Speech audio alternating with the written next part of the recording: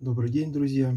А, решил сделать еще один ролик о теме а, гибель цивилизации, то, что мы сейчас наблюдаем, и то, что перед нами, перед нашим взором разворачивается. Многие этого еще не поняли и пребывают а, как бы в повседневных заботах, копаются на огородах, там, ходят на работу и так далее. Вот. Но события развиваются в мире, на мировой сцене. И это было э, объективно, э, скажем так, ожидаемо, потому что именно вот этот закон, о котором я уже многократно рассказывал, вот, и которым очень подробно рассказано в манифесте и в том пакете литературы, который я предлагаю интересантам приобрести именно приобрести по той простой причине, что а, если это все буду я как бы отдавать просто так, вот никто этого читать не будет. К сожалению, а, есть и работают некие, опять же, объективные законы, которые позволяют определенным образом, ну, скажем так, понудить, заставить человека делать какие-то действия. Вот. И это действие, оно очень важное – Потому что как только вы овладеваете знаниями, как только вы начинаете э, понимать, что происходит,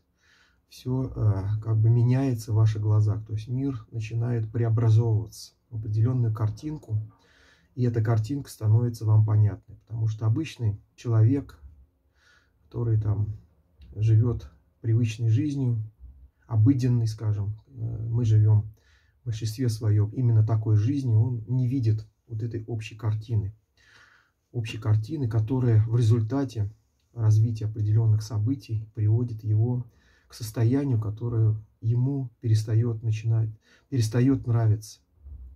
Начинает переставать нравиться, потому что вроде бы все хорошо, э, есть служба, есть работа, есть зарплата, есть семья, э, о которой люди заботятся, вот, и дальше как бы идут по этому пути судьбы, вот, но в определенный момент времени вот эти вот внешние события начинают очень серьезно влиять на их жизнь. И люди не понимают, почему это произошло, из-за чего это произошло, виноваты ли они в этом процессе.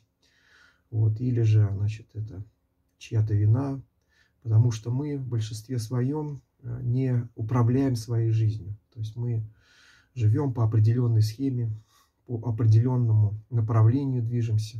Вот, и оно жестко детерминировано. То есть оно находится в определенных рамках коридоре, который, в частности, определяется доходностью семьи, доходностью человека, потому что как только появляются средства, деньги, вот, появляется некая степень свободы, и человек может менять свою жизнь.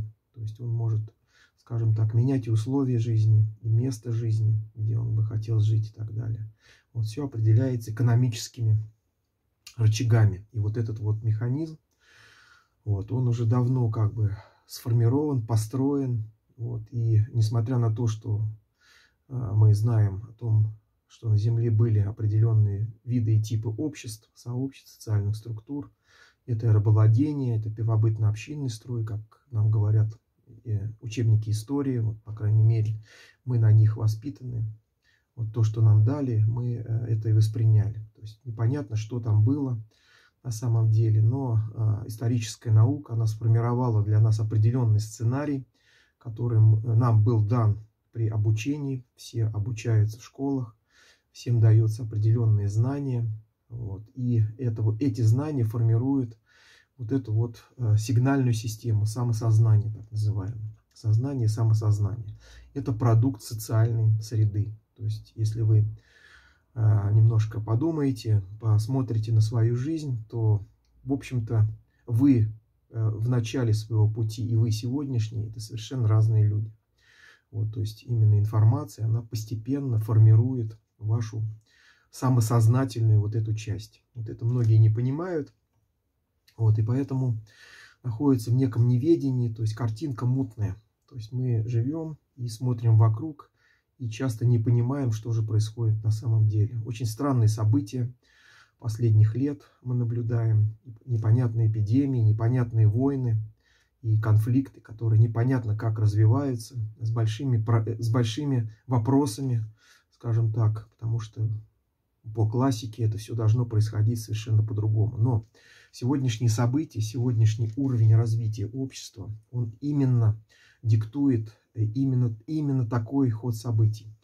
Вот, предполагалось, что вообще, в принципе, э, конфликтов таких серьезных, масштабных и глобальных именно в горячем плане, потому что вот эта вот часть, она э, как бы последний, последний шаг, да, то есть можно бороться и другими способами, методами. И есть как бы некие войны, которые проходят в тихом варианте. Это и холодные войны, которые мы знаем, которые тоже идеи вот эти вот и мысли этим в нас внедрялись все время, да, то есть есть холодная война, когда две системы борются друг друга не горячими способами, не на поле боя, да, но мы сталкиваемся в определенный момент времени и с горячими конфликтами. Это последний как бы шанс, это крах дипломатии, так называемый, когда дипломатические э, системы не справляются с своими задачами, все выливается в горячий конфликт вот, которые нацелены на, э, как бы, на борьбу двух э, систем, двух цивилизаций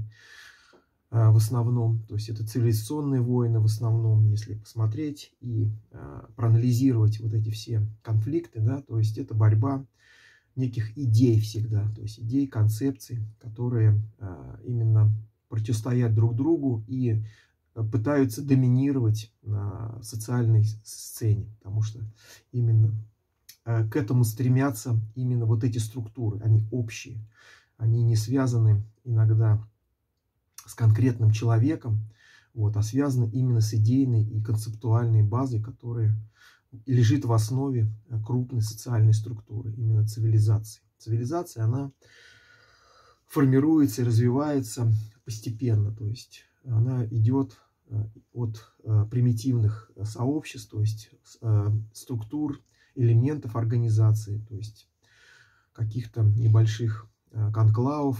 То есть именно природа человека, она в основе социальна. То есть человек и его самосознание возникли и формируются именно в социальной среде. И вот как развивается и как насыщена вот эта среда, вот, это отражается и на уровне сознания и самосознания, на тех идеях, которые формируют вот эту вот структуру, да, назовем ее операционную систему. Вот, то есть в каждом человеке заложена операционная система, на основе которой он уже строит э, свою жизнь, э, свою э, судьбу, и она очень жесткая. То есть изменить ее, например, очень сложно. Например, если человек приверженец каких-то взглядов, именно и религиозных, потому что религия это самая мощная система, которая способна настолько жестко ограничить свободу человека, что он находится в очень узких рамках. Я это наблюдал. Вот это можно говорить об а, исламской религии, которая очень диктует очень жесткие правила поведения. Вот. Э, и а, вот такое, такие правила в той или иной степени, да, или жесткие, или более как бы лояльные, они а, направляют и формируют человека. То есть направляют и формируют человека. Вот религии в основном, они а, в, э, в начале своей являются некой прогрессивной силой, которая развивает человечество, которая дает ему новые основы, формирует его новую социальную среду, потому что без религий невозможно существование тех же цивилизаций. То есть обязательно должна быть религиозная система, который э, является носителем вот этих вот основ, то есть базы такой вот, социальной базы. Вот. И на основе вот этой вот базы социальной среды идеи вот формируется и развивается материальная основа, которая потом приводит к определенным условиям формирования совершенствования именно идейной базы. То есть всегда вот эта среда материальная, она тоже начинает диктовать свои условия. И я об этом говорил, что концентрация производительных сил, вот, она а, именно приводит э, к тому, к, такому, к такой ситуации, когда техносфера а, достаточно мощно а, становится мощным фактором, она начинает очень серьезно влиять на идейный базис. То есть то, те идеи, которые были до этого, они терпят крах. То есть они требуют трансформации и преображения. Вот все революционные преобраза... преображения, преобразования, да, когда именно а, как бы основа, да, технический уровень менялся, вот, э, например, от определенных э, видов э, орудий труда, значит, что-то происходило, да, появлялся какое-то нов, новое орудие труда, которые способствовали более эффективной как бы производительности, вот, позволяли локали, позволяли разбить процесс производства на небольшие стадии, которые на выходе давали возможность производить огромное количество продукции с минимальными затратами. Вот этот фактор да, накопления и капиталов, то есть все это должен кто-то организовывать. То есть вот эта система управления, которая ну, способствовала а, развитию вот этих вот структур, да, то есть под каждый способ производства должна быть своя структура управления, это обязательно. Вот. И чем более совершенное орудие труда, тем больше разделен труд на очень маленькие стадии, локализован и узок, так сказать, потому что сейчас э, наступило время узких специалистов, которые видят только свою профессию, но в этой профессии они э, достигают очень высоких вершин. И поэтому здесь можно говорить, что э, идет вот такая вот как бы сужение функции человека. Вот. А сужение функции человека оно э, приводит и к деградации человека, его основ, его э, мировоззрения, его кругозора. Вот. Мы это наблюдаем. То есть человек становится в, некой, некой, в неком роде автоматом, который встроен вот в этот механизм производства, да, и человек теряет свою основу, да, то есть ради чего это все делается. То есть ради жизни человека и формирования им социальной структуры. То есть вот эта социальная среда, начинает, э, скажем так, э, способствовать деградации элементов. Вот. А дело в том, что если вы купите манифест, вот, там собраны все основы и базовые труды, которые, прочитав которые, вы поймете, как вот это все строится. То есть вот этот весь механизм вы э, осознаете и поймете, для чего это нужно прежде всего. Вот как, когда вы живете, да, когда вы не обращаете внимание на внешний мир – и на те события, и не управляете в той или иной степени внешними, внешними сценариями, вот, то сценарий начинает развиваться по воле абсолютно других сил. Это может быть и элитная, элитарная система, как сейчас. То есть она сформирована, э, эти люди, они очень хорошо понимают и занимаются только тем, что формирует новый э, идейный базис, концептуальный базис развития вот этой всей системы, потому что они пытаются взять э, и в управление именно э, вот э, тот уровень техники и технологии, тот уровень развития производительных сил, который сформировался на сегодняшний момент.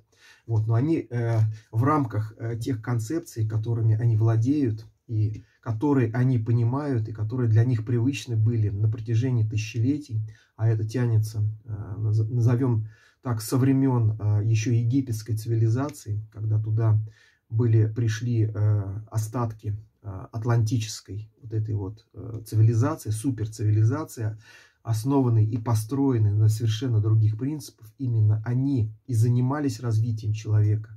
И э, эти как бы адепты, они владели этими технологиями, то есть именно они поняли, что а, весь механизм вся технология и техника, она сосредоточена внутри человека. И ее можно развивать и совершенствовать. Ее можно трансформировать в определенные формы и виды. И вот этот вот механизм, который заключен внутри человека, он может быть использован как элемент техносферы. Вот то, что они достигли, и то, к чему мы пытаемся возвратиться, но на новых основах. То есть разработать свой сценарий развития, да, то есть э, именно сбалансировав э, возможности человека, его э, технические возможности и возможности техносферы, то есть отчужденной сферы, созданной руками человека. То есть мы сейчас имеем дело именно с элементом отчуждения. То есть человек отдельно, техносфера отдельно. И вот этот фактор, он не позволяет нам двигаться дальше. То есть мы уперлись в некую структуру и стенку, я об этом уже говорил, которая не позволяет двинуться человечеству дальше на пути развития. То есть мы э, пришли в состояние некого дисбаланса. Оно, этот дисбаланс на сегодняшний момент очень существенный. И вот почему разворачиваются вот эти странные сценарии событий, да, которые мы наблюдаем, и эпидемии, которая вдруг охватила весь мир.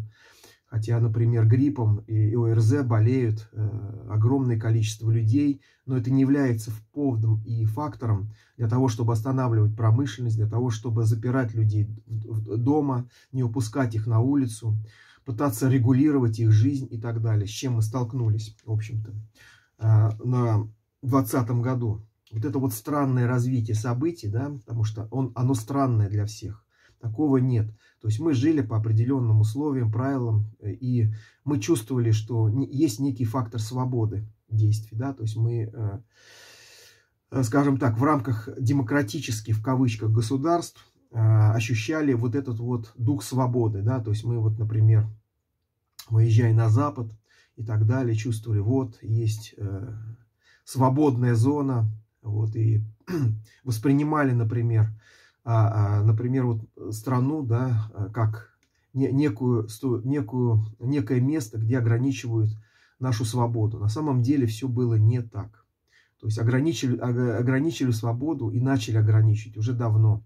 И э, элитарные системы, они понимали, что, в общем-то, если дать человеку свободу, если его развить, если э, как бы пойдет вот это вот экспансия силы и управления в народные массы, да, то есть, вот, скажем так, будет формироваться гражданское общество и народовластие.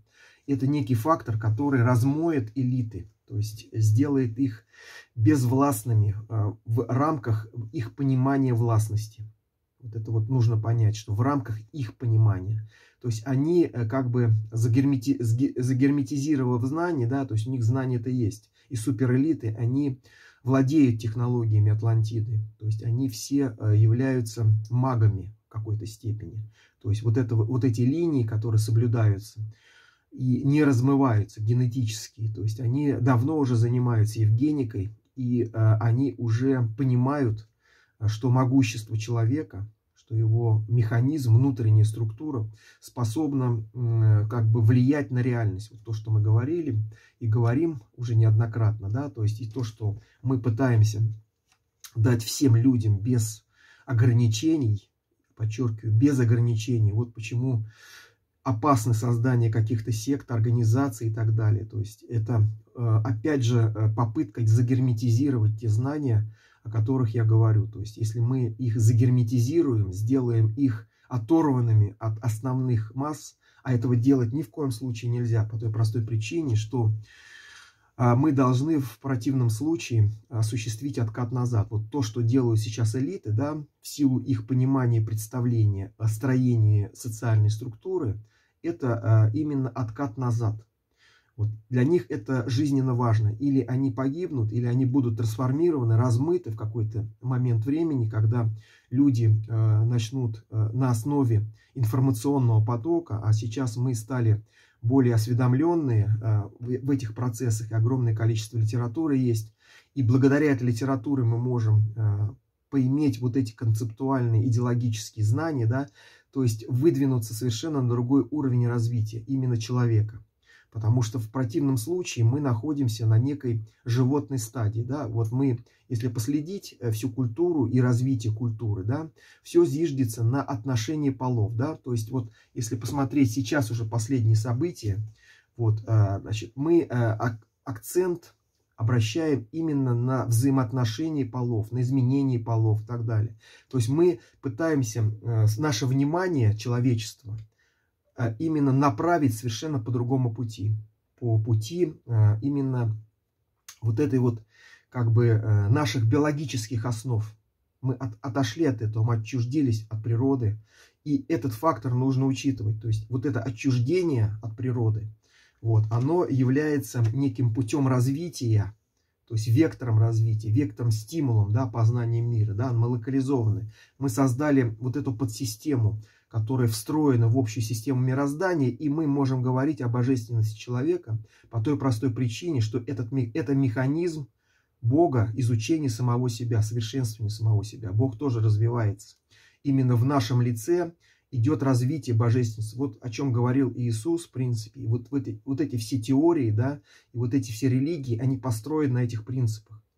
Вот. Человечество, к сожалению, не поняло это на том уровне развития и философии, и развития сознания, и техники, технологий. Вот эти идеи, они не могли быть осмыслены полноценно.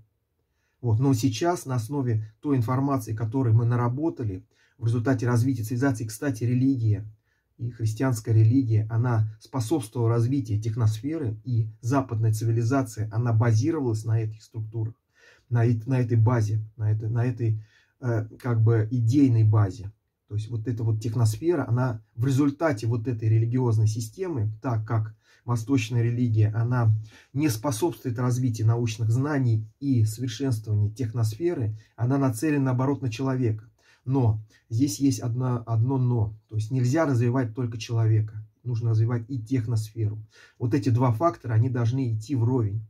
Вот. И если этого не будет, то в принципе мы опять в определенном этапе, да, то есть размытие сознания, отказ от сознательной жизни и так далее, то, что декларирует Восток, он, э, это попытка вернуться опять определенным способом и путем, не развивая техносферу в природную среду. То есть мы вышли мы как бы родились, да, то есть этот, вот этот акт рождения человека, он э, э, как бы нацелен на то, чтобы снова вернуться и слиться с природой. Вот это вот самый, самый главный стимул и цель человека – вернуться в природу. То есть вот это отчуждение от природы, оно является очень серьезным и э, фактором, то есть самоосознание человека рождает страх, сомнение, неуверенность, и вот эти вот вещи, и э, вот этот вот фактор, он, не, он именно пробуждает человека к действиям, то есть к созданию техносферы, к развитию техники, технологии, только с одной целью вернуться снова в лоно природы. Вот. И мы должны вот эти стадии все пройти и слиться с природой уже на новых принципах, понимая ее, ощущая ее целостность и слившись с ней, но не примитивным способом так как идет Восток.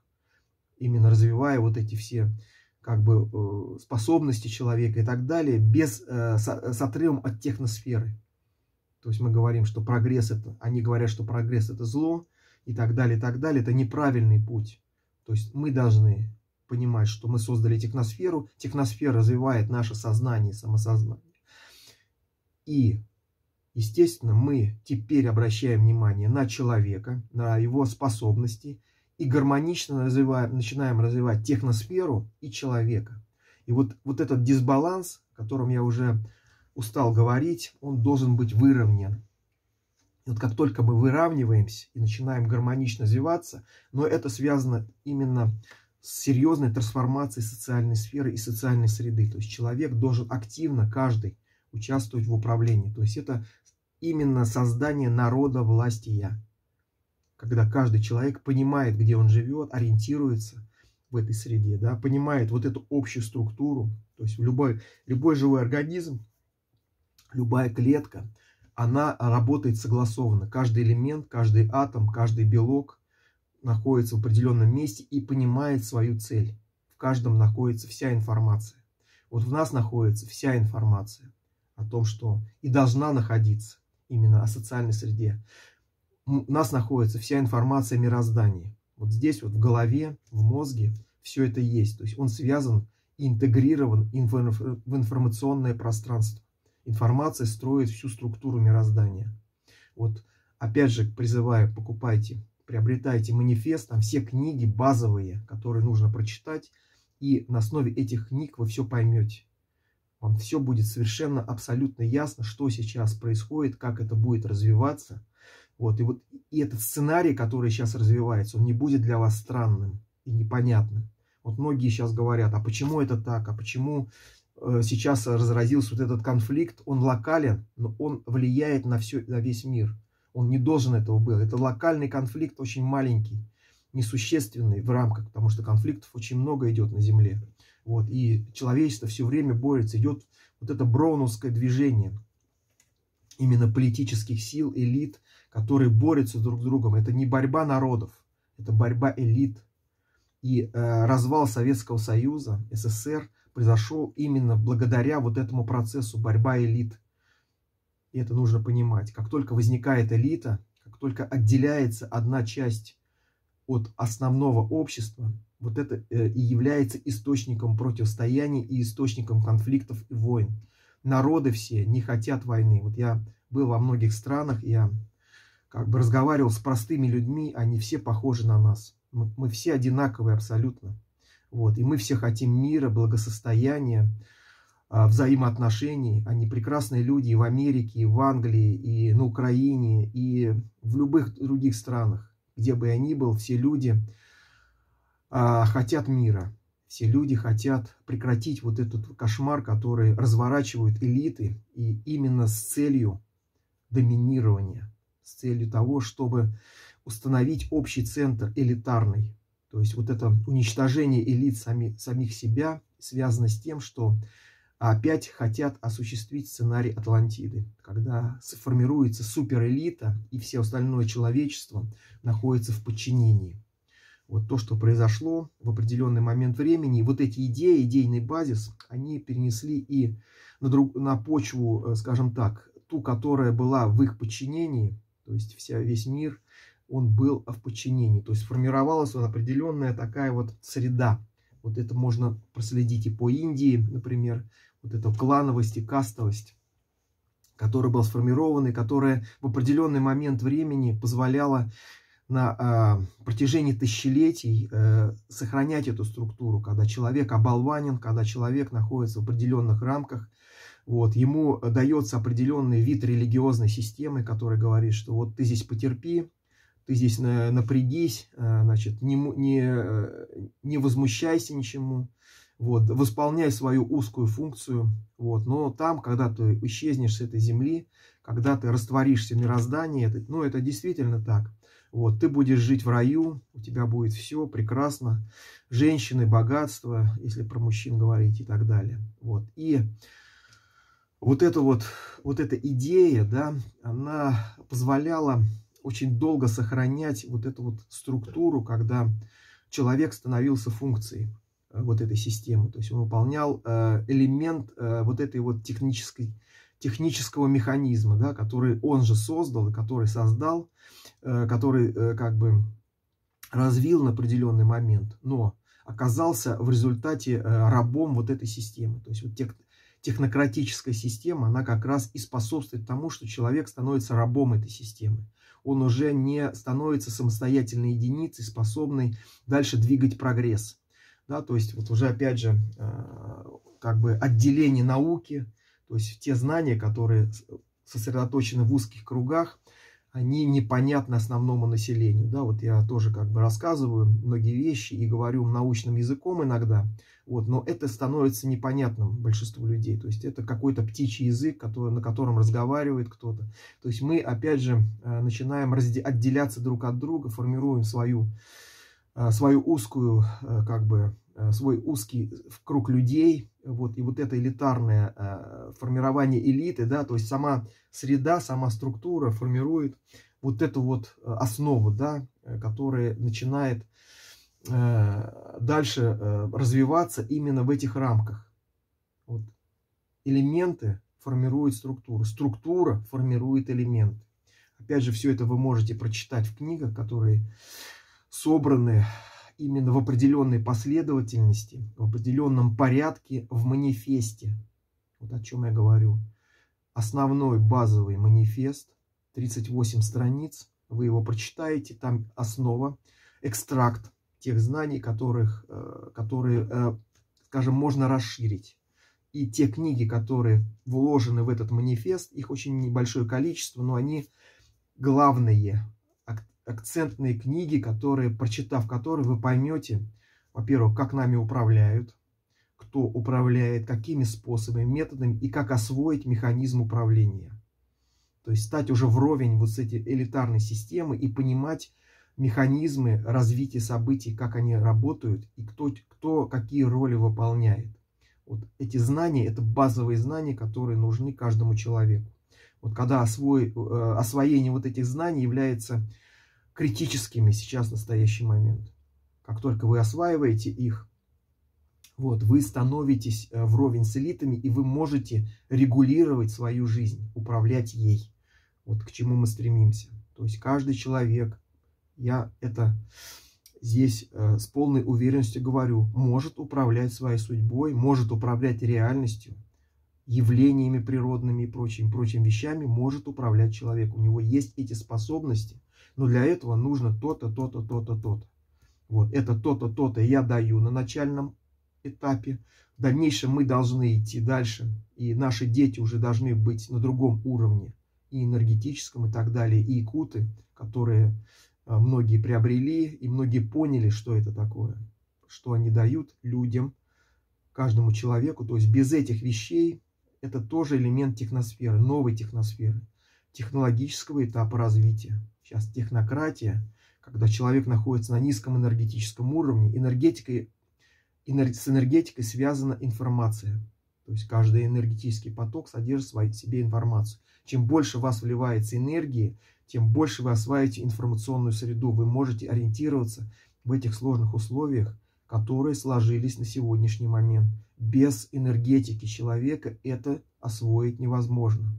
Что бы мы ни строили, как бы мы дальше не развивались, мы вынуждены будем откатиться назад и принять ту систему, которая нам диктует элиты мы снова окажемся в рабском состоянии. Вот почему сейчас эти все процессы разворачиваются, и этот сценарий, он четко прослеживается. Эпидемия, война, голод, холод, гибель цивилизации, гибель огромных масс людей, обнищание, рабское состояние. Вы уже не можете ничего делать, у вас нет средств для того, чтобы даже передвигаться. Вы будете жестко детерминированы и определены, определено ваше место – Дальше с вами можно делать все, что угодно.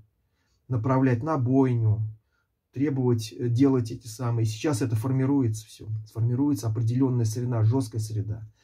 В этих условиях государственные структуры могут устанавливать свои жесткие правила. Мы в этом убедились, когда был развернут сценарий эпидемии. Вот. Где она? Никто сейчас об этом не вспоминает. Никто об этом не говорит. Я последний раз слышал эту информацию очень давно. Раньше каждый день об этом говорили, как развивались события, сколько умерло людей там и так далее. Мы эту информацию получали каждый день. Эпидемия никуда не делась. Я смотрю, у меня есть э, канал Telegram, и там все, все сводки есть, сколько заболело, сколько умерло и так далее. Эпидемия идет, но никто о ней уже не вспоминает в связи с текущими событиями. Причем на мировом уровне маленький конфликт раздули до уровня огромной мировой войны. Это выполнение элементов сценария. Почитайте апокалипсис, который есть в Библии, и вы поймете, как развиваются события. Они действуют по определенному сценарию, который уже прописан и который внедрен в население. Это так называемое матричное управление. Посмотрите мой ролик. У меня этому посвящен целый э, материал огромный вот как это все делается. И книги, которые я вложил в манифест, они позволяют освоить и этот метод матричного управления. То есть вы можете освоить этот метод и влиять на события. Все говорят, а что нам делать? Да, вот мы приобрели приборы, мы уже увидели вот эту правду всю жизнь, а сделать ничего не можем. Люди не понимают вокруг нас. А вот есть способы и методы, которые позволяют именно как бы взаимодействовать с идейным базисом. Идеи влияют на всех. Вот если мы изменим идеи, да, для этого необходимо очень небольшое количество людей для того, чтобы создать и сформировать новый идейный базис на основе новых принципов. А принципы такие, что человек должен, первое, сформировать определенную среду, именно как бы э, по модели э, развития жизни Капра, вот опять же все книги, которые я высылаю, там это есть все. То есть как развивается природа, по каким правилам, по каким закономерностям. И вот эту модель, в принципе, можно применить и к социальной среде. А вот сегодняшней, когда мы имеем вот эту богатую развитую техносферу, да, это вот благо для человечества и не вред, от нее нельзя отказываться. Элита понимает, что мы, они отказываются и формируют и оставляют свою, свой способ и метод управления. Для них это сейчас важно, жизненно важно. Или они погибнут, раз, э, размывшись, да, как бы, отдав свои полномочия. Они этого не хотят. Не хотят терять деньги, финансы. Хотят сохранить вот эту грабительскую финансовую структуру, которая вытягивает из нас деньги. Нас ограбля, грабят, причем э, на пустом месте. Сформировав вот эту идею, да, э, как бы финансовый вот этот центр, закрепив эту идею, э, идет ограбление мира, его ресурсов. То, что мы производим, мы не богатеем. Мы наоборот, начинаем беднеть. Инфляция за счет того, что создана банковская система с судным процентом. И процент этот очень высокий. И мы все наши достижения, все наши прибавки, которые э, бы на, были нацелены на, например, формирование комфортной среды для человека, чтобы он не бедствовал, чтобы он не все время где-то искал деньги для того, чтобы выжить. Это, это э, или сценарий выживания человечества или сценарий хорошего существования, комфортного существования человека и человечества. Как только мы достигаем вот этого уровня комфортного существования, вот, мы уже становимся на другой этап развития. Да? Для нас уже интересны другие вещи. Не выживание, не как заработать копейку, а мы уже думаем об искусстве, мы думаем о культуре, о развитии. Мы проявляем свой творческий потенциал, потому что когда человек, у него основная мысль, а, где бы достать денег, чтобы прожить, у него вот эта часть, она отрезана. Соответственно, вы становитесь э, элементом вот этой системы, винтиком в этой, в этой структуре, в техносфере. Технократический уровень развития, технократический этап. Технократия, соответственно, элита и вот эта техническая сфера с элементами человеком, да, встроенным в нее. Вот, человек функция, но не цель. Как только человек становится целью, все меняется. Весь мир меняется, меняется вся структура, вся философия, принцип, вектор развития. Все меняется. Мы становимся уже на другой этап развития. Этап развития человека, прежде всего, его способностей, их, его возможностей, его творчество, его э, как механизм познания мироздания. То есть мы должны все время расширять вот этот вот кругозор, то есть мы э, выступаем в роли богов в этом мире, потому что мы обладаем самой главной ценностью, самосознанием, способностью организовать подсистему в общей системе мироздания, где все растворено, где все находится в суперпозиции все а, не, а, не идентифицировано как отдельные объекты.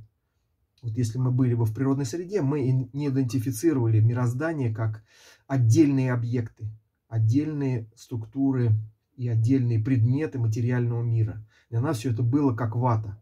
То есть мы были погружены вот то, что восточная философия пытается сделать с человеком, погрузить вот это в, его, в эту вату и оставить его там.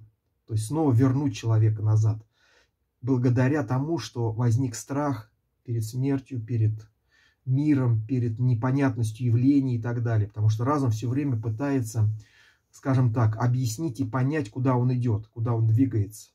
Вот мозгу это все понятно, потому что он интегрирован, он растворен в мироздании, он общее. То есть наш мозг внутри нас, он уже э, находится в той среде, он не отделен. Но наша сигнальная система сознания, оно, оно отделено и формирует вот эту подсистему. Вот, вот в чем самая главная суть, отличающая человека от других существ, живых, которые находятся в мире. Вот, и на основе этого и нужно строить свой путь развития. Да, мы должны соединиться, да, да, за технологической будет биологическая стадия, когда человек самостоятельно руками своими создать механизмы и, и технологии, способные интегрироваться очень плотно в природную среду. Я так думаю, что э, на определенном этапе развития те ушедшие цивилизации, они достигли этого уровня и растворились в природной среде. Вот, они стали природной средой и ушли, соответственно, сцены. То есть мы их не видим, не ощущаем. Они уже находятся на уровне информационного пространства. Вот туда мы должны стремиться интегрироваться именно в информационную среду и уже своей волей, своим самосознанием творить мироздание, творить вот эту вот общее как бы Вселенную. То есть мы уже будем творцами Вселенной в этом плане. Если мы уходим туда, то информационное э, пространство становится для, нам, для нас управляемым и понятным. Мы овладеваем всеми вот этими законами, закономерностями, которые позволяют нам управлять собой, управлять разумом. И вот эта божественная суть, да, то есть мы идем к Богу, да, идем к храму. И, но идем к храму именно вот этим путем, не тем, которым нас ведут сейчас религии, религиозные системы, которые, эм, ну, скажем так, уже стали некими замкнутыми структурами с эм, ограниченными э, и э, герметизированными знаниями.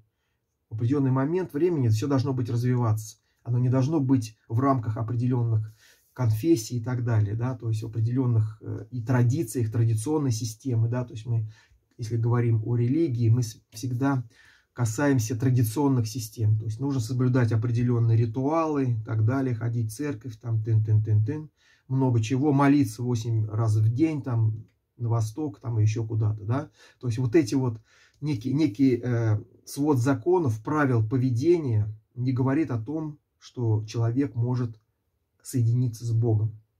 Религиозность, она основа человеческая. То есть, когда он рождается, он уже связан с природой, с Богом. Да? Мы рассматриваем Бога как вот это мироздание, да, общий вот этот концепт, некий абсолют, э, который э, растворил весь материальный мир в себе и нематериальный. Вот вы, когда будете читать книги э, в манифесте, там есть книга, э, которая позволяет вот это осмыслить. То есть, именно то, что наш материальный мир – это еще не все мироздание, которое существует. Их очень много. Много реальностей, которые вы можете выбирать. Вот, которые, в которые можете уходить и строить свою судьбу так, как вы хотите. Так, как вам хочется это сделать. То есть вы можете менять реальность. И это действительно так. То есть вы э, выбираете реальность и идете. Но общие принципы, они остаются, да, то есть человеке общий принцип остаются. Вот то, что, о чем я говорю, это не меняется, это основа. Вот. А выбор сценария может быть осуществлен спокойно. То есть вы расширяете свои рамки, вы не сужены в определенных рамках то, что диктует э, социальная среда вот на сегодняшний момент, да, то есть ограничивая вашу свободу. Эта свобода начинает расширяться, и это истинная свобода, к которой должен стремиться человек. Выбор сценария и управление своей жизнью полностью вы можете и комфортные условия создать, и изменить место жительства, и поменять реальность и так далее. То есть вот эти все вещи э, позволяют осуществить некая техносфера, которая дополняет и развивает возможности и способности человека. Вот то, что, э, что я, о чем я говорю, и что пытаюсь дать людям. То есть люди должны понимать, да, что вы хотите дальше идти, или вы хотите в рамках прожить свою жизнь. Непонятно, чем это закончится. Да, скорее всего, очень плохо. Потому что сценарий развивается, он будет дальше развиваться, потому что выхода больше нет. Нету выхода, если мы не сформируем вот эту новую среду людей, да, понимающих и знающих вот эти все вещи. Вот. А мы э, столкнемся именно с обычным явлением, как это было всегда, да, то есть опять рабовладение на долгий, очень долгий срок, в определенных рамках, да, будет информационная среда, но она будет все время откатываться назад, вот эти апокалиптические все события, они будут все время происходить. Мы об этом знаем, это закономерность э, вот этого вот, как бы, вот этой цивилизации, назовем ее так, да, потому что цивилизация, она, все, она захватила весь мир. Несмотря на то, что есть, существуют еще какие-то цивилизации, но они подчиненные этой цивилизации. Вот что нужно. То есть западная цивилизация захватила весь мир. Мы все пользуемся сотовыми телефонами, компьютерами, и вот эта техносфера является основой вот этой вот западной цивилизации, скрепом его, ее э, именно идейной базы. Вот где бы мы ни находились, как бы мы ни отрицали, да, мы все время уже вот в эту сеть втянуты. Вот. И отказаться от этой сети мы не можем на сегодняшний момент, только трансформировав, изменив ее. Вот как, как только мы это все дело изменяем, мы значит, э, приходим на другой уровень уже понимание развития, но только через человека. Вот, и э, нужно, конечно, использовать все, все достижения, все знания, э, которые наработал. То есть мы не можем отказываться, разрушать это все. Это, не, это бессмысленно, мы понимаем, да, что вот этой дорогой мы можем выйти на, другой, на другие горизонты. Вот это надо понимать. То есть мы не революционным, а эволюционным путем. Это очень важно понять. выходя на улицы, громя техносферу, да, разрушая техническую сферу, мы сами себя убиваем вот этими протестами, революциями и так далее. Вы поймите, что все это организовано с целью отброса назад, отката опять назад и принятия тех же правил игры. Все время нам, сколько бы мы ни совершали каких-то благих вещей, да, революций, не строили систему, но не изменив человека, ничего нельзя сделать. Мы опять придем к тем же знаменателям. Вот это нужно понять. Развивая человека, только этот единственный шанс нам перейти вот эту каменную стену, границу, которая разделяет нас, вот, эту вот, вот этот уровень цивилизационного развития от другого уровня цивилизационного развития. Вот это нужно понять. Или бесконечный круговорот событий вот, без э, некой надежды на выход на оперативное пространство. Пока этого не произойдет, мы будем крутиться все время вокруг одного и того же. То есть опять в примитивное состояние, опять плуг, опять лошадь, телега. Вот. При этом э, будут существовать элиты. Элиты, которые... И даже, даже в даже примитивном варианте они, они э, вот этот принцип управления, они э, как бы цементируют. Им не важно. Здесь э, речь идет о, об, скажем так, не одном человеке, не о группе людей, а принципе. Принципы – это тоже некие живые и разумные существа, которые, э, ну, скажем так, э, они, они управляют всей реальностью. Да, все это сидит на материальной основе, но базовые принципы, вот эти сформированные, да, системные основы, Опять же, читайте манифест и всю литературу. Вот я призываю всех, приобретайте манифест. Да, вы потратите какие-то деньги, это не просто так. Я не наживаюсь на этом ничего, я как бы занимаюсь научной деятельностью. Огромное у меня большое количество задач и целей. Вот, и фактически здесь нет э, речи о том. Цель создать стимул для освоения этой литературы. Иначе вы положите это в пыльный ящик, в пыльный угол своего компьютера и не будете читать, это я вам гарантирую. Так же, как пользование икутом. Когда я их всех раздавал, никто не пользовался икутом, никто. Все положили его, сказали, а, какой-то дурачок, дал нам чего-то. Вот. Положили на полочку, и вот так вот все эти приборы лежат. Тем, кому я просто так отдарил. Те, кто затратили деньги, потратили, взяли в банке там и так далее, кредит, влезли. Все начинают пользоваться икутом и менять свою жизнь. Почему такая цена на него? Потому что это стимул вами, вам пользоваться этим прибором по правилам. Как только вы начинаете пользоваться прибором по правилам, как только вы входите в эту системность использования вот этих всех приборов, вот, вы сразу начинаете менять свою жизнь, и материальное вот это вот, вот этот стимул, он дает это управление мозгом. Мозг так устроен. Это не, даже не наше сознание, да, то есть мозг программирует события, а мы просто как автопилот двигаемся по этому пути. Мы не управляем, опять же, там книга есть в манифесте, которая позволяет вам вот это понять. Прочитав ее, вы понимаете, что происходит на самом деле, кто управляет человеком и как управляет человеком. Вот это нужно понять. И поняв это, вы вырабатываете свой метод управления самим собой. Вы приобретаете клавиатуру, монитор, мышку и начинаете рулить уже своей жизнью так, как вы хотите. Вот это вот свобода человека. Вот, я уже повторяюсь, вот, и поэтому призываю всех приобретать манифест. Вот, э, не жадничайте. Это ваша жизнь дальнейшая и ваша безопасность. Вот, если вы это не освоите, вы можете на мои слова не обращать внимания, опять сказать, как какой-то непонятный дурачок здесь что-то нам толдычит, какую-то муть. Вот, мы тут знаем лучше всех. Вот, но поверьте мне, значит, э, что вот без этого, без этих знаний, то есть икут еще только часть системы, да, то есть приобретая икут, вы приобретаете энергию, энергию жизни, энергию, способность воспринимать информацию более полно и объемно. Вы поймете это со временем, когда будете пользоваться прибором, вы будете настолько легко и хорошо осваивать любую информацию, это произойдет со временем. Это должен определенный период пройти. Это не завтра, не послезавтра. Но пользование постоянной кутом меняет ваше состояние. Это может произойти и через 8 лет, через 10. Вот я а, разрабатываю уже, по-моему, восьмой год этот прибор. Вот, и, соответственно, я им пользуюсь, и я понимаю мои изменения внутренние. Вот я их чувствую, я их вижу, что, в общем-то, идет очень интересный процесс внутренний. Это, это не излечение человека там от заболеваний, это все мелочи по сравнению с тем, что делает Экут. Вот. Э, я об этом не говорю по той простой причине, что большинство не поймет. Все хотят вылечиться.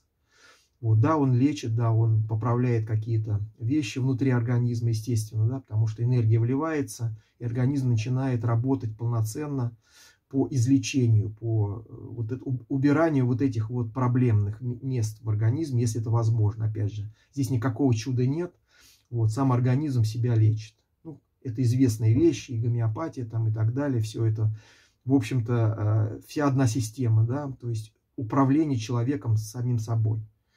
То есть через самоуправление человеком самим собой он может справляться с любыми заболеваниями, это известно. Но, но ему нужно построить интерфейс воздействия, да, как вот лекарство. Это тоже интерфейс воздействия на человека. В большинстве случаев работает плацебо, известный эффект. Вы пьете таблетку, и вы хотите, чтобы у вас прошла голова. Она у вас проходит. Вот в чем дело. И вот построением этим интерфейсом мы и занимаемся. Вот, мы берем это все на вооружение и рассматриваем это как интерфейс управления человеком. Вот если это вы мысль поймете, дальше все будет ясно и понятно. То, что я говорю и о чем я здесь толдычу. Вот, все, я на этом заканчиваю. А, это очень важный ролик. Думаю, что если вы его посмотрите, вы все поймете, приобретете манифест. Вот. Да, это затраты денег, да, может быть, вы влезете в какие-то долги, но вы должны это сделать после прочтения манифеста и пользования Якутом все станет на свои места, и вы будете быстрее развиваться по этому пути. Все равно к этим мыслям придете, потому что это есть э, как бы основа. И эта база, вот она существует, она существует в неявном виде, но она войдет в вас в явном виде в этом случае, потому что информация, она будет воспринимаема вами, вашим сознанием на, на другом энергетическом уровне. Энергетика дает все человеку. То есть он должен идти по пути развития именно внутренней энергетики. Вот если он по этому пути не пойдет, мы сейчас пытаем, из нас энергию вытягивает, города и так далее. То есть все это как бы способствует тому, что человек находится на низком энергетическом уровне, информация неправильно поступает в него, искажена. Соответственно, он управляем так, как хочется узким кругам. Вот то, что мы имеем сегодня. Спасибо за внимание. Под роликом будет, э, будут мои координаты. Дискуссии можете э, разворачивать э, на WhatsApp, э, писать свои отзывы об работе Якут. Я надеюсь, что это позволит многим сделать свой правильный выбор. Вот, но выбор, естественно, делать нужно на других вещах. Но люди в большинстве с вами этого не понимают. Они хотят вылечиться и так далее. Слава Богу, пусть это делают, но пусть пользуются икутами. И вот эта энергетический со временем, это, если вы будете смотреть мои материалы, их очень много, и вот эта вот идея, мысль, она разбросана, размазана по многим-многим роликам моим. Я все время об этом говорю, иногда концентрированно, как сегодня, иногда, скажем так, намекаю на какие-то вещи, которые нужно осваивать. Вот. Э, это все пока не воспринимается большинством человечества, я это очень хорошо понимаю. Вот. Но э, есть люди уже, которые поняли и начали уже э, по этому пути двигаться, и слава богу. Их пока мало, но они будут постепенно нарастать, их будет все больше и больше, потому что выхода у нас нет. Вот, и все будет хорошо. Поэтому волноваться не надо, просто занимайтесь делами, вот, осваивайте вот эти знания, э, читайте манифест и сопутствующую литературу. Там очень много ссылок есть. Вы можете в дальнейшем разви... Э, как бы продолжить свое самообразование, обратить определенные... Я просто обращаю внимание на определенные акценты что, куда нужно идти и какими знаниями овладевать. Это все должно самостоятельно осваиваться человеком, не под действием каких-то этих самых, как бы, не, не, не, нельзя загнать в светлое будущее. Человек должен сам туда прийти, своей волей. Если он не хочет, значит, он не должен это сделать. Если он хочет, он должен это сделать. Только эволюционным путем. Никаких революций, никаких бунтов, никакое свер... свержение власти и так далее. Это глупость вы все равно придете к тем же знаменателям.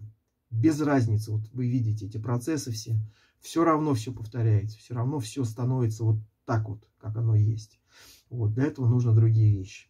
Все, спасибо за внимание. Под роликом, опять же, все мои данные, контакты и так далее. Площадка для дискуссий, для объединений там и так далее. Что хотите, что и делайте. Объединяйтесь, разъединяйтесь. Вот. Но главное, э, начинайте осмысленную жизнь. Вот это очень важно. Все, спасибо за внимание. До новых встреч. Подписывайтесь на мой канал и голосуйте за мои ролики. Спасибо за внимание.